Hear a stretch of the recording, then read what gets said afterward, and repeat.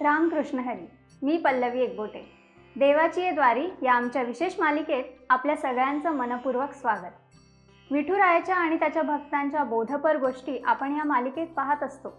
आणि विठुरायाचे भक्त म्हणजेच आपल्या महाराष्ट्राला लाभलेले थोर संत आपल्या वचनांमधून अभंगांमधून कायम विश्वाच्या मानवाच्या कल्याणाचा बोधच देत असतात. आज आपण पाहणार आहोत संत मुक्ताबाई यांनी चांगदेवांना उपदेश करण्यासाठी जी चांगदेव पासष्टी लिहिली त्यातील एक ओवी. ती ओवी अशी. सोने सोनेपणा उणे न येताची झाले लेणे तेवी न वेचता जग होणे अंगे जया.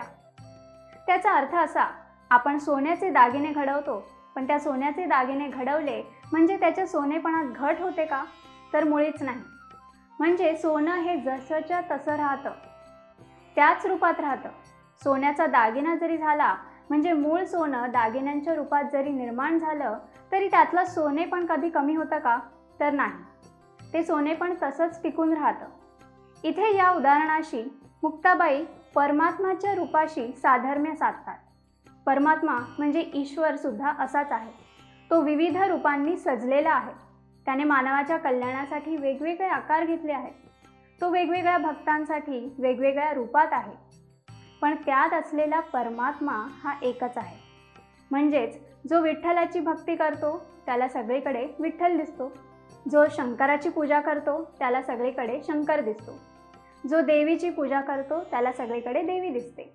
पण विठ्ठल असो किंवा शंकर असो किंवा देवी असो मूळ रूप हे परमात्म्याचंच आहे. जसे सोन्यापासून सोन्याचे दागिने बनतात तसे परमात्म्यापासून त्याची विविध रूपं साकार होतात. पण जसे दागिने बनल्यामुळे सोन्याचं सोने पण कमी होत नाही तसेच परमात्मा कितीही स्वरूपात प्रकट झाला तरी त्याच्या मूळ रूपात फरक पडत नाही. यातून आपण अर्थबोध हाच घ्यायचा की आपल्याला जो प्रिय असेल त्या देवाला पुजताना त्याच्यातील परमात्म्याचं स्वरूप मात्र विसरू नये. बोला जय हरी विठ्ठल